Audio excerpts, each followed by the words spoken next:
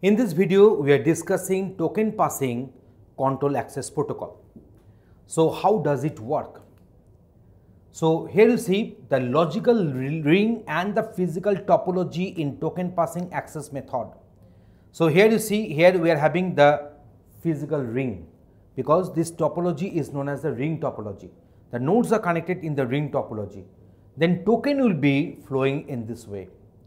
Now you might be asking me what is the purpose of the token? We know that here all these particular stations that accessing a common shareable media. So there is a finite probability that there is a collision. Collision takes place when multiple stations will be in transmission at the same time. So how to avoid this collision? There is a special type of type of frame known, known as a token which is nothing but a permission actually. So, what will happen when the token will be made accessible or captured by a certain node, then only the node can transmit its information. So, a node cannot transmit its information until and unless it can capture the token. So, what will happen in this total networking environment, there will be a single token. So, as a result of that, at a time only one node can communicate. So, this is the main purpose in case of your physical ring. So, just consider here this token will be rotating in this way. In case of dual ring, the token can also rotate in this way, you can find this one, the token can also rotate in this way and this is the respective data flow. So, it can be done in this way. Here we are having this bus ring that means we know that these stations are connected in, a, in bus topology, but we can using this bus the token will be actually logically rotating in this particular format and that is a star ring where the token will be rotated in this particular format. So, you can find that how the token can be managed in there uh, so that each and every node will get the fair chance to transmit its data. Now, let us discuss FDDI that is a fiber distributed data interchange FDDI. So, that is the example of FDDI token ring operation. So, what is the FDDI token ring operation? So, let me discuss that one. So, here how many stations are you having? 4 stations. What are they? A, B, C, D and this is the they are connected in a ring topology and that is the one token is T and this token is rotating in this particular network. A wants to send some information to say node C. A wants to send some information to node C. So, what will happen? A will seize its token, token, A will seize the token and A will transmit sending the frame F1. So, A seizes token begins transmitting frame F1 addressed to C. So, what will happen? This frame is now in transmission. So, it is now transmitting this frame. This frame when the transmission of this frame will be completed then A will append the token at the back of the frame. A will append the token at the back of the frame.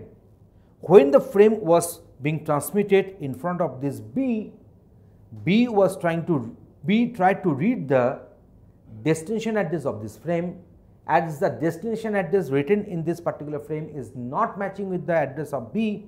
So, B got that idea that this frame is not for B. So, that is why it did not do any reaction against this frame passing in front of it and now the frame is being passed. So, A appends token to the end of the transmission. Now, what will happen when this when this F1 frame is passing in front of C, C will try to read the destination address written in the frame format. So, as this destination address is matching with the C's address because the frame was intended for C, so C will keep a copy of this frame in its own internal buffer. So, when this frame is being copied, the frame is also in transmission, the token has been appended back. When the token will be in front of B, B was having a purpose to send information to say node D. So, B is having a plan to send some um, frame to node D. So, what will happen? B will absorb the token and it will inject F2 that is a frame which is intended to D. C continues to copy F1 B seizes token and transmits frame F2 address to D. Okay. Now what will happen when this particular frame F1 will be coming in, in uh, toward the A, A was the original uh, originator of this F1 frame.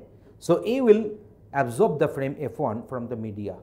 So F will absorb the frame from the media and this particular B has completed its transmission of frame F2 which was intended for D and D is also going to keep a replica of the frame because this frame F2's destination address is matching with the address of D. So, B emits token and D copies F2, A absorbs F1. So, B will emits the token and that will get appended at the end of F2. In this way, the process will be repeated.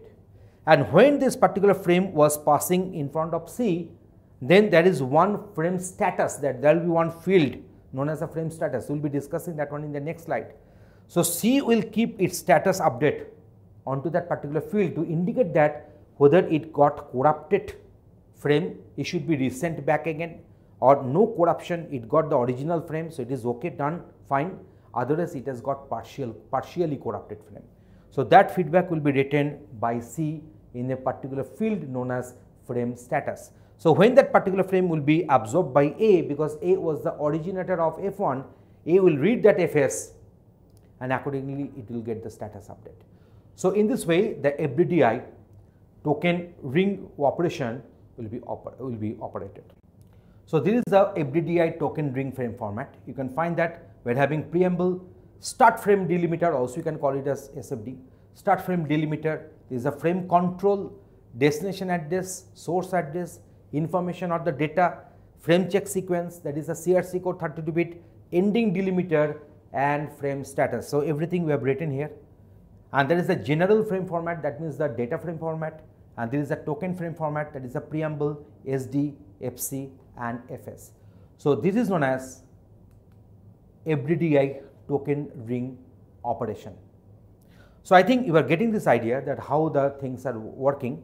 So, I put all the figures in the same slide only to make you understand that what are the different states of the of this particular model. Okay. So, in this particular video we have discussed that what is token passing control access protocol and how does it operate we have explained that one with one example. Thanks for watching this video. Tutorialspoint.com Simply easy learning.